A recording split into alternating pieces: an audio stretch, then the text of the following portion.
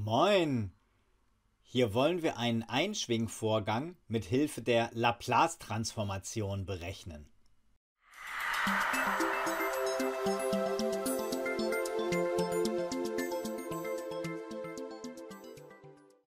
Wir haben hier eine ideale Gleichstromquelle und die wird zum Zeitpunkt t gleich 0 auf die Parallelschaltung aus einer Induktivität, einem Kondensator und einem Leitwert geschaltet. Und im ersten Aufgabenteil sollen wir mit Hilfe der Laplace-Transformation den zeitlichen Verlauf der Spannung an der Parallelschaltung berechnen. Überlegen wir uns also erstmal, wie die Schaltung aussieht. Wir haben die Parallelschaltung aus L, C und G. Soweit klar. Und parallel dazu geschaltet haben wir die ideale Stromquelle.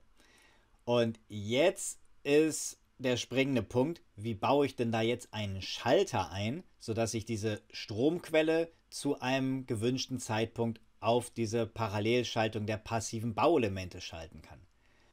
Und jetzt ist es ja so, dass eine ideale Stromquelle immer ihren Strom liefert. Und darum darf ich den Schalter da jetzt nicht einfach in Reihe schalten, denn damit hätte ich dann ähm, das Modell von dem idealen Bauelement verletzt. Also der Strom muss fließen können, da darf ich nicht einfach einen Schalter in Reihe zu einer idealen Stromquelle schalten.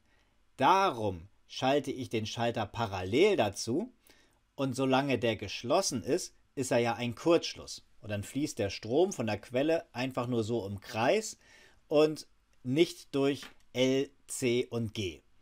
Und wenn ich dann den Schalter öffne, dann kann der Strom anfangen zu fließen.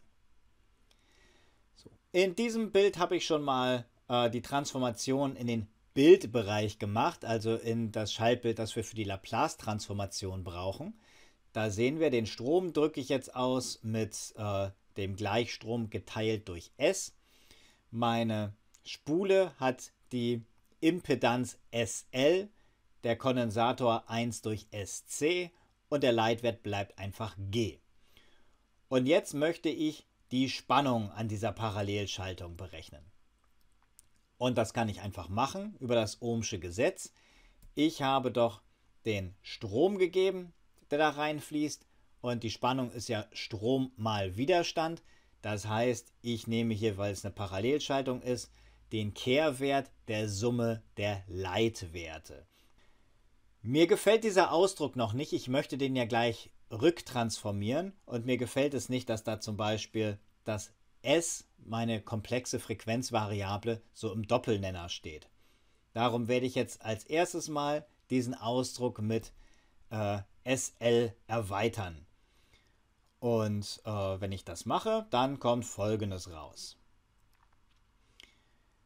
Okay, und was mir jetzt immer noch nicht so richtig gefällt, ist, dass da im Nenner bei dem s mit dem höchsten Exponenten, also dem s Quadrat, da steht ja auch noch irgendwie so ein LC dabei und ich möchte gerne, dass das s Quadrat alleine steht. Darum werde ich gleich mal Zähler und Nenner durch äh, LC teilen. Und außerdem sehe ich noch äh, bei dem Vorfaktor IK durch S, da kürze ich dieses S im Nenner doch gegen das S im Zähler bei dem SL. Das werde ich jetzt auch mal rausnehmen. So, und damit habe ich jetzt einen Ausdruck und den kann ich in meinen Formelsammlungen finden. Und jetzt habe ich mal in meine Tabelle geschaut und habe da folgende Korrespondenz gefunden. Äh, irgendwie so einen Ausdruck, wo ich ein s Quadrat habe, ein äh, s mit einem Vorfaktor und einen reellen Part. Und das wird dann transformiert in einen gedämpften Sinus. Und wenn wir hier jetzt mal einen Koeffizientenvergleich durchführen, dann sehen wir doch, dass offenbar äh, mein 2 Delta, der Vorfaktor vor dem S, entspricht offenbar G durch C. Und das heißt, mein Delta ist dann also G durch 2C. Und den nächsten Koeffizientenvergleich kann ich da machen. Ähm, bei den reellen Part, also äh, Delta Quadrat plus Omega Quadrat ist offenbar 1 durch LC. Das kann ich nach Omega umstellen und äh, da steht jetzt noch das Delta zum Quadrat in dem Term drin und Delta kenne ich ja auch schon, das kann ich also auch einsetzen. Ja, und damit habe ich alles zusammen, um meine Rücktransformationsformel anzuwenden. So, dieses hier haben wir jetzt gerade rausgekriegt. Und wenn ich jetzt meine Rücktransformationsformel anwende, dann kriege ich also dieses hier raus. Man müsste jetzt halt nur noch die Terme für Delta und Omega einsetzen. Das habe ich mir jetzt mal gespart, weil das dann nur unübersichtlich wird. Wir kommen zum zweiten Aufgabenpunkt. Wir sollen uns überlegen, wie groß denn die Spannung an dieser Parallelschaltung ist, wenn wir unendlich lange warten, nachdem der Schalter geöffnet wurde. Naja, da könnten wir doch einfach jetzt mal unsere Formel nehmen. Wir haben doch einen mathematischen Ausdruck für die Spannung.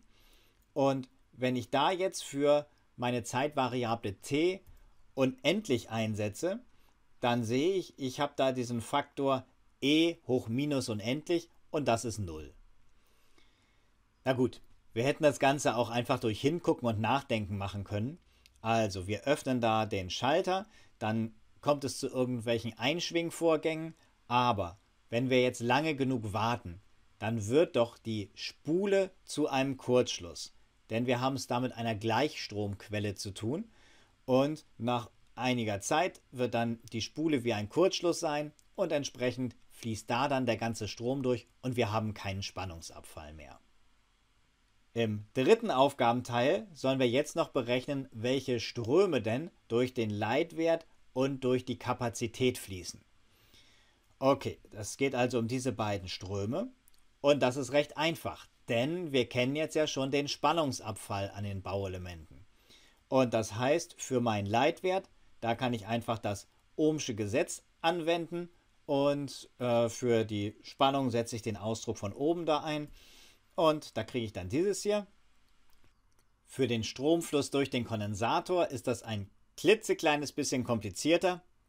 Wir verwenden wieder die Bauelementgleichung und da müssen wir halt die Spannung ableiten und da müssen wir darauf achten, wir haben ja das Produkt von zwei zeitabhängigen Funktionen, die e-Funktion und den Sinus und da müssen wir also die Produktregel anwenden und auch noch jeweils dran denken, dass für die Ableitung ja gilt innere Ableitung mal äußere Ableitung.